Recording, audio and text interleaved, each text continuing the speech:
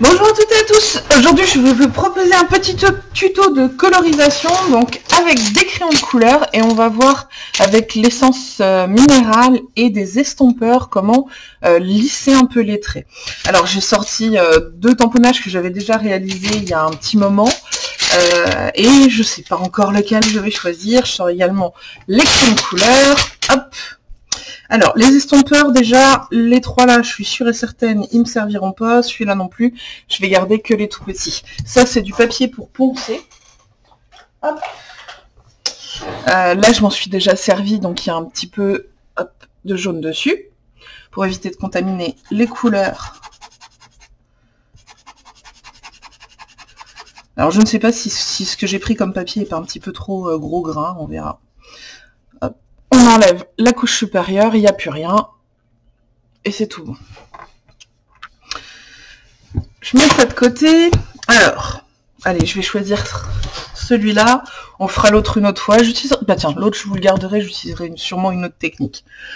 Je vais commencer par euh, le ce que je vais faire plutôt dans des tons gris. Donc bon bah voilà, un crayon gris. Et alors, autant que possible, moi j'essaye de faire des petits ronds pour éviter d'avoir trop de coups de crayon marqués. Donc, comme ceci. Notamment sur les bords. Des petits ronds, des petits ronds. Tout en douceur. Pour éviter d'avoir des coups de crayon trop marqués, il vaut mieux repasser, repasser, repasser. Très léger, très léger, très léger. Euh, plutôt que de vouloir euh, faire un trait euh, plus euh, chargé d'un coup, donc plus appuyé. Je vais juste décaler un petit peu. Voilà. Ça manque encore de zoom, hein, j'ai l'impression. Normalement, voilà. Alors là, je peux pas zoomer. Si, je peux zoomer plus, mais bon. Je, vérifie que je suis un petit peu dans le cadre. Hop, c'est bon. Donc là, évidemment, ça commence à être trop fin. Je peux plus faire de petits ronds. Je fais des petits traits, mais tout doucement. Et vous voyez, ça ne marque pas trop, on n'a pas ces grands traits moches. C'est pas toujours possible, c'est pas toujours euh, facile non plus. Ça, c'est des crayons de couleur aquarellables. Hein. Donc, euh, si je veux, je peux venir euh, utiliser de l'eau. je le ferai sur une partie, tiens, pour vous montrer un peu la différence de réaction entre le... Attendez, parce que là, il faut que je me concentre, que je réfléchisse si c'est du... C'est du nounours, là. c'est toujours un petit peu compliqué pour moi de bien repérer, euh, de prendre le temps de... Enfin, prendre le temps, ça va, mais de bien repérer, c'est compliqué, donc je suis obligée de prendre le temps pour savoir... Euh, quand il y a une toute petite zone un peu euh, décalée, j'ai mon cerveau aime bien les, les tout petits détails, donc il, a tendance à se focus sur, sur les détails plutôt que sur la vue d'ensemble. voilà.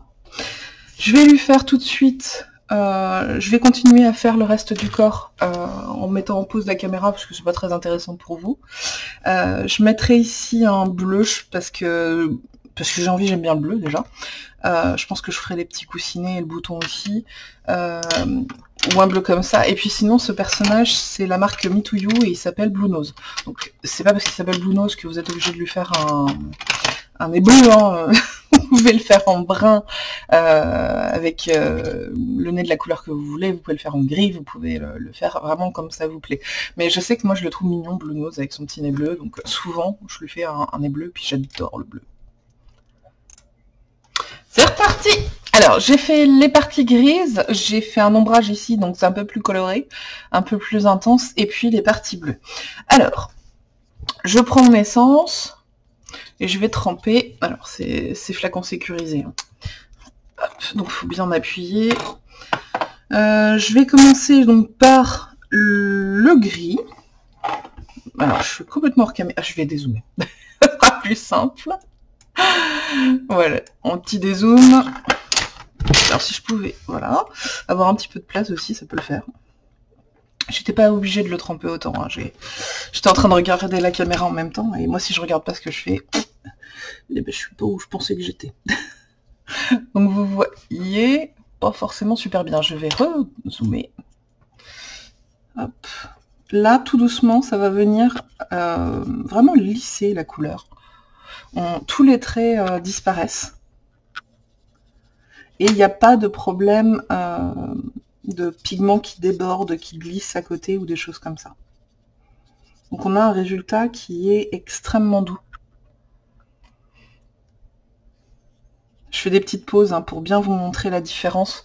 Regardez ici. Hop. Et ici, il y a beaucoup plus de petits points. Alors, je suis désolée, hein, la caméra est escalée, j'ai pourtant pris une bonne caméra exprès, euh, c'était mon cadeau d'anniversaire euh, de l'année dernière. Mais effectivement, on n'est pas non plus euh, sur une caméra fait pour le macro, quoi. Mais je vous assure que la, différence visuelle est flagrante, quoi. Et on le voit quand même en retour caméra. Donc ça donne quelque chose de beaucoup plus lisse, euh, avec beaucoup moins, vous savez, ces petits points où on voit le, le, blanc, euh, quand on fait du crayon de couleur, il y a euh, le pigment, le blanc du papier, etc. Et là, c'est comme quand on passe une craie, il y a au début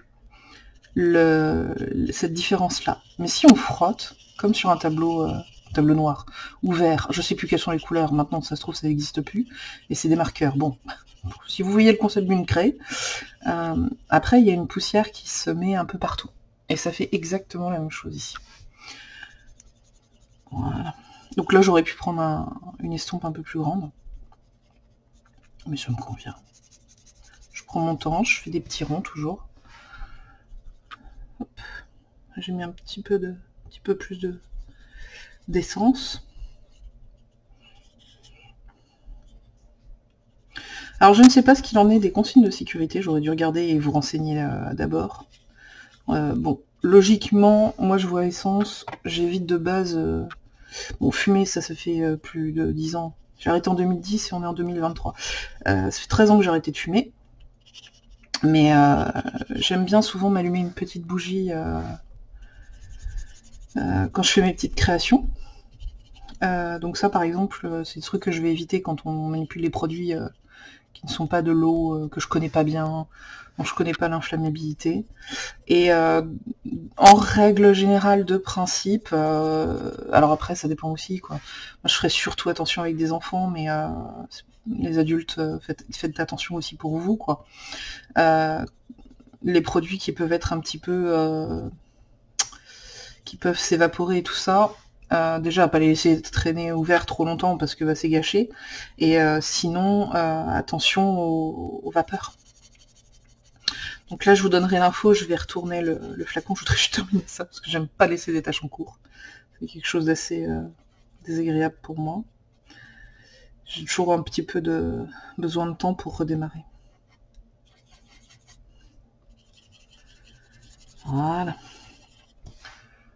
ça a quand même bien avancé. Et on voit que les couleurs, ça n'a pas du tout filé à côté. Ce qui peut arriver avec l'eau. Hein. Moi, j'ai souvent eu des, zones de, contact à côté. Ça grimace. Alors, là, je vais partir sur... Euh, c'est un pinceau réservoir d'eau, ça m'évite de sortir euh, l'eau pour ça. Je le secoue un peu, j'évite de le faire au-dessus du truc. Hein. Je le secoue un peu pour qu'il soit un peu plus humide. Et je vais vous montrer un petit peu la différence. Donc ça va lisser bien sûr, mais les couleurs sont généralement euh, plus vives, plus éclatantes, et euh, on peut déplacer vraiment le pigment. Vous voyez que là, du coup, il y a plus de couleurs sur ce côté-là et à cet endroit-là. Et si je viens bouger un peu, je peux la déplacer. Hop, je vais vous montrer ce que ça donne. Euh, alors, je reprends mon, estompeur. Il est pas sale finalement. A pas de... Pas trop de gris. J'ai vraiment été avec la pointe. Alors, tant que j'y suis, je me pose des questions, parce que ça, c'est un outil que j'avais utilisé un peu avec des... Comment ça s'appelle? Euh, Je ne sais plus. Des ça. je me demande si, ça, si on peut le tailler au taille-crayon. Eh ben, on va tester puis voir. Comme ça, vous saurez. Non. Ou alors pas mouillé, parce qu'il y a ça aussi, il y a des trucs qu'on peut les faire, mais pas mouillé. Je me disais de toute façon on risque pas grand chose. Il y a deux côtés, et puis après je repasse un coup de. Je reponce un peu s'il y a besoin. Quoi.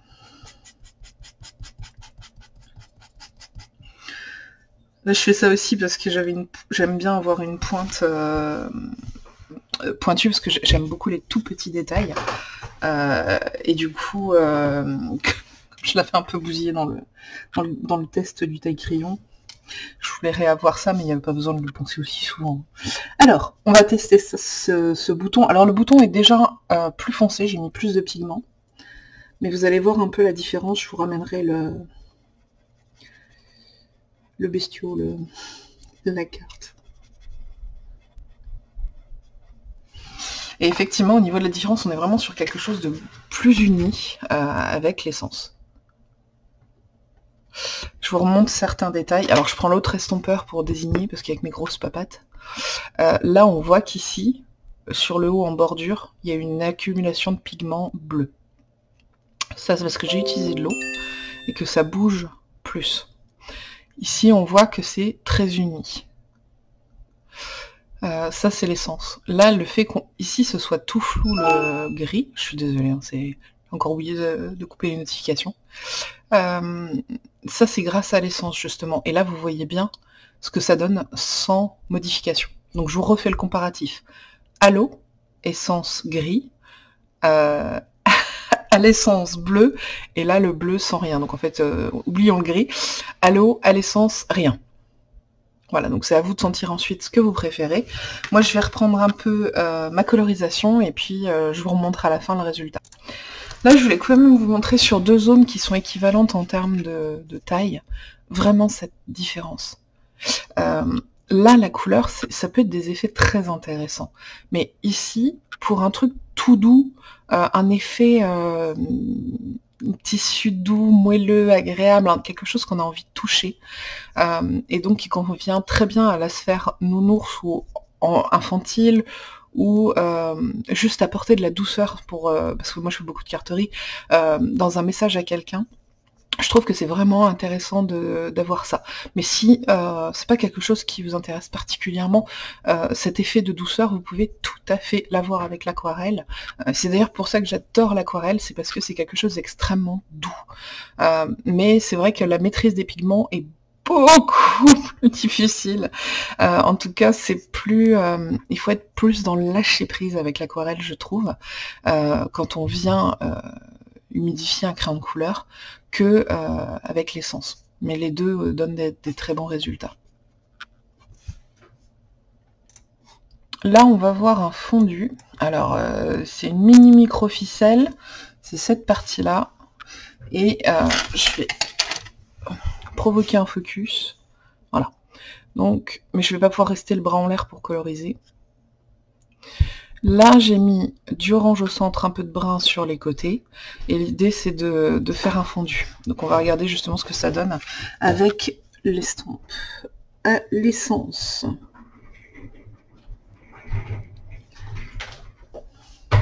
Hop Et là, je suis ravie, les résultats sont encore meilleurs qu'à l'eau. Euh, j'ai remonté un peu le pigment vers le haut euh, pour le brun.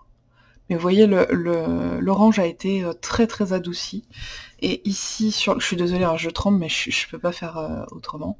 Et ici, sur le côté, on voit bien que la petite pointe de brun, euh, c'est un peu plus coloré, un peu plus sombre. Voilà, sur cette partie-là. Bon, après, on est sur un truc là qui, fait 6 mm de large. Hein, voilà. vous voyez mon dos à côté. c'est petit petit. Hein.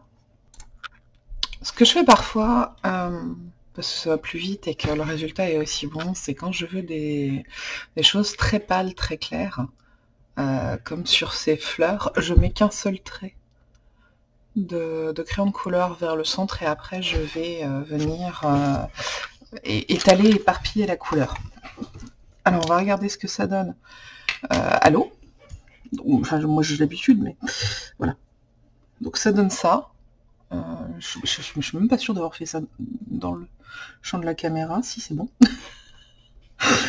Donc on se retrouve effectivement, la ligne disparaît complètement et euh, la couleur est vraiment euh, très étalée, on n'a plus du tout ce point central euh, rose. Ce, point central, cette ligne centrale, pardon, rose pâle. Hop Celui qui est derrière, là je vais le faire à l'estompe. Alors je vais prendre le plus petit, hein, parce que là on est sur, euh, sur quelque chose de rikiki. Je suis dans le cadre. Et en fait, ça, vient bien adoucir, mais on peut quand même conserver. Encore une fois, la maîtrise du pigment est plus, euh, plus facile, ça, migre beaucoup moins. Euh, donc on voit encore une ligne centrale, alors que là, elles ont quasiment disparu. Quoi. Euh, au niveau euh, de l'encre, euh, j'ai de l'encre de tamponnage, j'ai utilisé de la Versafine, il n'y a eu aucun souci ni avec l'un ni avec l'autre. pensez à vérifier et à pas par exemple faire toute votre colorisation pour finalement vous rendre compte que alors que vous foutez de l'eau, ben, ça passe pas et ça, ça supporte pas l'eau ou l'essence. Mais là je vous le dis, moi c'est de la Versafine, zéro souci quoi ni avec l'un ni avec l'autre.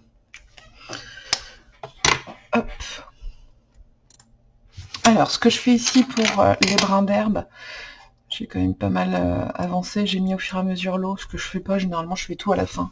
Mais comme là je fais un peu des comparatifs aussi entre l'essence et l'eau. Euh, pour les brins d'herbe, par contre, je fais le contraire de ce que je vous ai dit tout à l'heure avec les petits traits, les petits ronds. Je fais exprès des petits traits comme ça, hop, que ce soit marqué. Toc, toc, toc, toc. Voilà. C'est vrai que souvent ces traits, ils disparaissent beaucoup à la à l'eau. Donc je vais voir ce que ça donne avec, euh, avec l'essence. Euh, je vais prendre cette taille-là. Bon, un peu trop de bleu, ça va. Hop. Et on y va puisque euh, comme je vous avais dit, ça, migre moins, ça adoucit mais ça migre moins. Et là effectivement c'est vraiment ce qu'on retrouve, on a, vraiment le mouvement dynamique de l'herbe qui pousse, donc avec ces petits traits, ces, petits coups un peu vifs partout. On n'est plus sur un textile euh, tout doux uni, genre pelucheux. Voilà. Et on retrouve quelque chose de plus marqué au niveau de la forme, au niveau des traits. Donc ça me convient euh, parfaitement, parce que souvent ça justement j'avais un petit peu de mal avec l'aquarelle à le, restituer.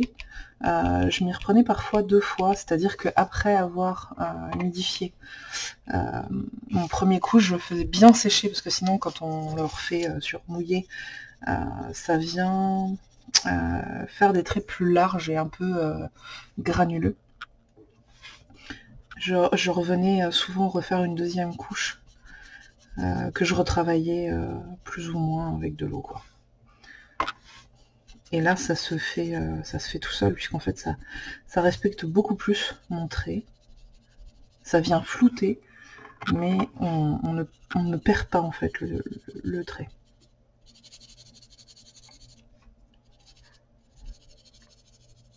Voilà.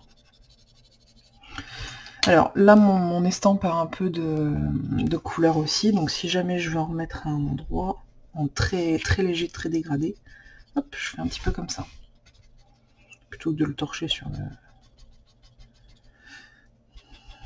Là, j'avais mis un petit peu de brun pour avoir un, un ombrage.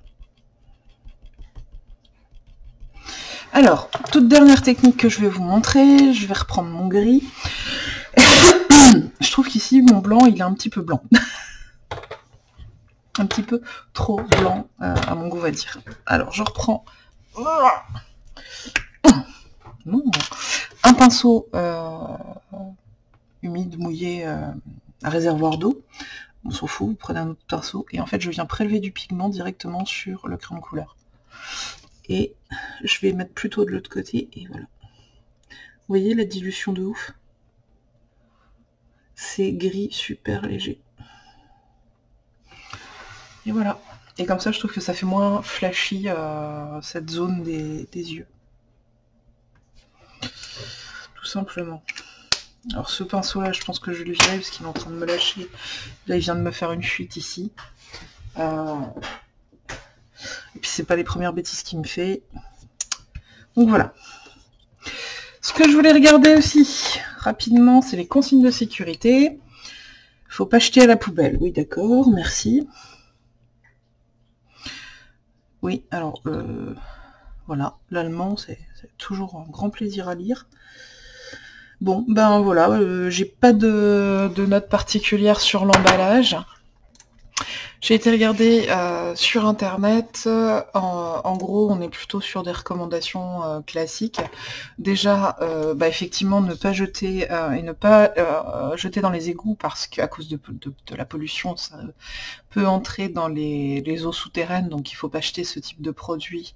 Mais c'est pareil avec les huiles aussi l'huile à lampe par exemple, vous retrouvez ce même symbole. Il ne faut pas jeter à la poubelle, il ne faut pas jeter euh, dans les égouts parce que ça peut contaminer les eaux souterraines. Euh, sinon, en règle générale, les concepts, c'est euh, refermer bien après usage et bah, éviter de le sniffer. Quoi. Plutôt utiliser dans une pièce aérée, le pas le laisser trop longtemps ouvert, etc. Deux principes. et voilà. Donc, j'espère que ça vous a plu, que ça vous aura donné envie euh, d'essayer différentes techniques, pas forcément avec euh, ce matériel d'essence minérale, avec juste de l'eau, vous voyez toute cette partie du bouquet, je l'ai fait avec uniquement de l'eau, les papillons aussi, le petit nez également, euh, et puis les, les cailloux aussi. Donc voilà. Et puis généralement, je vous dis, ça fait des années que je n'utilisais que de l'eau et, le résultat est, est parfait, nickel. Euh, les trucs, c'était aussi ce que je voulais vous dire, n'oubliez pas, vous pouvez vous abonner à ma chaîne, liker, euh, commenter, m'envoyer vos photos aussi, c'est toujours euh, intéressant de voir ce que vous faites, et puis bah, j'espère que vous allez vivre des beaux moments créatifs. Bye bye